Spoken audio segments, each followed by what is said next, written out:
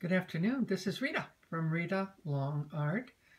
I was communicating with a friend who has a home farther south where the hurricane went through and was asking her how they fared and if everything was okay. And after our conversation, she said to me, What do you have on your easel today? Hmm. Well, I actually have three easels going. Excuse me. the big easel that I've on, and there's some shadows here, I'm doing a forest scene, um, actually Christmas. So it's not finished and there'll be a star on the top of the tree and there'll be some more details, but I got into a winter mood today on this beautiful fall day.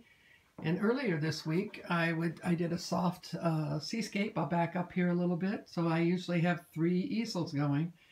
And then this one was my typical, as I love um, seascapes. So today I have three going and I'm ready to start another one while these dry. And I have a chance to look at what details I need to add to make them a finished product. So thanks, Leslie, for the question. I really appreciate it. And I hope all goes well with you and your home. Make it a great day.